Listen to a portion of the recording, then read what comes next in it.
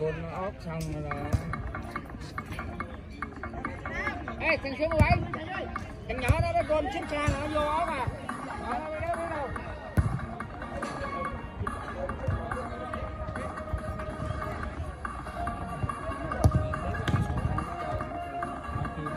đá đậu bữa thu ba chắc